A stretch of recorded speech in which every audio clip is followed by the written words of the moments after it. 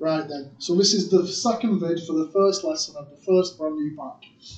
Interestingly, if I change the setup on this calculator to get ready for the second question, which is to do with a frequency table, what I want is list one and list two. So I can do list and then number two. What that does is it says that list one is my x values and list two is my frequency values. So as a frequency table. I can actually do question one like that. Like if I do it now, if I just do one there, I get an issue. If that's the case now, if I put a frequency of one in here now, one, one, one. I probably put 11 in somewhere by mistake.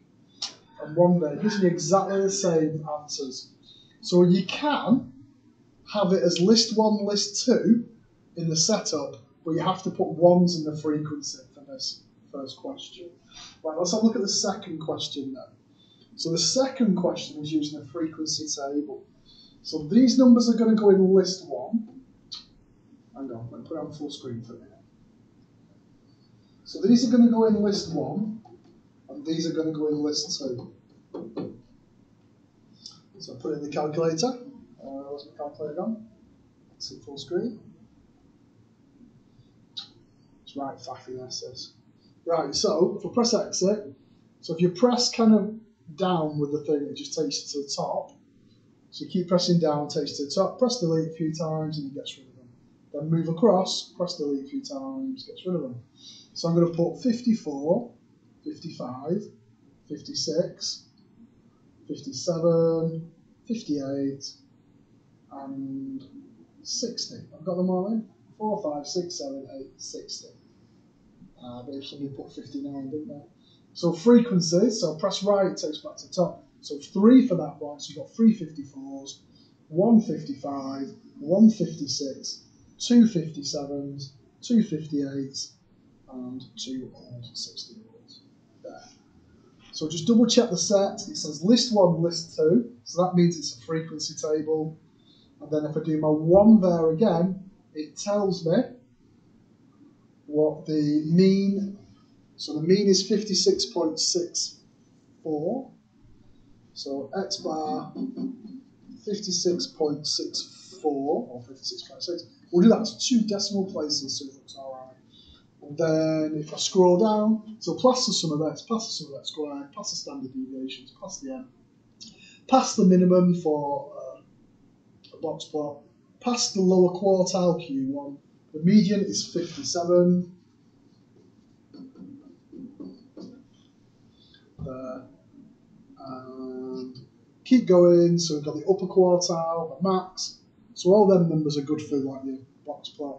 Then it tells me that the mode is 54, and there's only one of them. Uh, you expected that because it had the biggest frequency, so you knew that. So at least it works. So mode is 54. Let's have a look at the next page then. Right, so this time, uh, if you remember from GCSE, you need to work out what the midpoint is. So we're going halfway between 0 and 10, which is 5, then 15, then 25, then 35, then 45. That goes in list 1, that goes in list 2. So it says I want the, the mean, the median, and the modal group. Right, okay, let's have a look. Uh, so let's exit, press down a few times, and then get happy with the delete key. Move it over, get happy with the delete key. Right, so what have got? So I've got 5, 15, 25, 35, 45. Press right, so then I've got 5, 12, 19, 10, and 4.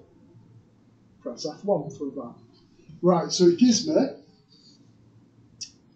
uh, the mean is 24.2. So X bar is 24.2. So So let's now look at the median. Right, so the calculator, let's go down to median, tells me it's 25. So the calculator telling me it's 25, it's picking up the midpoint value, isn't it? So actually, I want the group, so it's 20 to 30.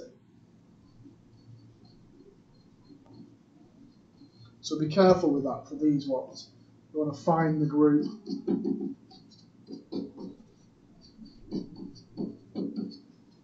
There. So I'll keep going for the mode. Says the mode is 25. So for the mode, once again, that's also 20 to 30. Right. Let's have a look then. So next one. So this one says employees in a small firm have the following salaries when put in order. Uh, right, so let's stick that in the calculator. Let's delete everything out. Press down a few times. Get happy with the delete key. So what we got, I'm bouncing this. Oh, here we go. Oh, no, there's one over here. So what we got, so 12,000. Oops. It's not right for pay that, is it? Uh, 12,000. Gotta watch out when you put it in the calculator. You get nothing. put the wrong number in, you're done. Uh, 15,200. 16,400. Whoa. Uh, 17,900. Where am I? 21 grand and 31 grand. Right, so I've got choices. I can do the set and change that back to 1 by pressing F1 if I want, or I can leave it in list 2 and put 1s in the frequency column. It's entirely up to you. As long as you're happy, you know what you're doing. So I've gone for the easy way of just putting the 1 in, but you've got to remember to change it. That's your problem. Right, so go F1. Right, let's have a look then. So it wants the mode first. So scan, scan down to the mode, put in a different order. So that's 12,000. There's a car outside. Then the mean. No, I've got to do that now.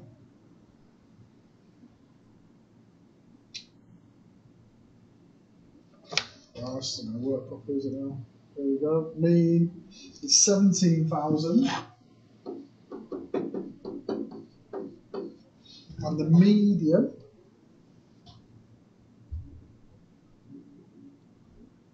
is 12,000. Oh, uh, sorry, median. 15,200. Myself caught. So 15,200. It says which one is the best measure and why. So you've got an issue here. You've got a few people earning less than 20 grand, and then you've got somebody earning 30 grand. So if you use the mean, it gets massively skewed by that 30 grand. That would be better if it said 50 grand or something like that. So we're not going to go with a mean because it's, it gets affected by the outliers. So we are going to go with the median because it's not affected